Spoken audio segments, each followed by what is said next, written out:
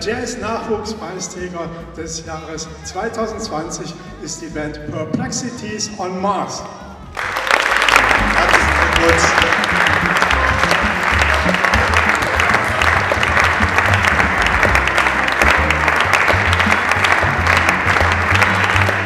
Ihr habt jetzt den Preis gewonnen, 6.000 Euro, 6.500 Euro oder so. Ähm, wie geht es jetzt weiter für euch? Unser Plan ist es tatsächlich alles äh, zu investieren. Das Sehr heißt, äh, ähm, geplant ist, dass wir ins Studio gehen, aufnehmen zusammen und ähm, Mixing und alles was drumherum und das äh, natürlich auch irgendwie versuchen so ein bisschen auszubauen, dass wir ähm, noch mehr spielen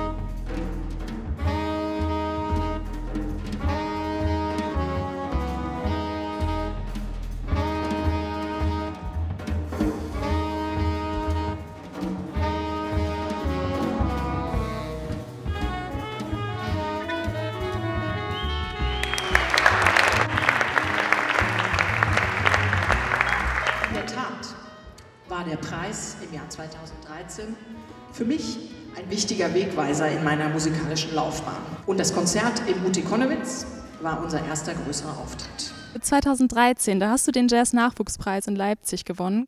Was hat sich danach geändert? Na, der hat natürlich eine Art von Aufmerksamkeit geschaffen Ja. erstmal. Ähm, dann ist der Preis ja auch dotiert. Wir konnten damit unser erstes Album aufnehmen Mhm. als Quartett. Das war super. Und das war irgendwie so ein bisschen ähm, der Stein, der alles ins Rollen brachte bei uns.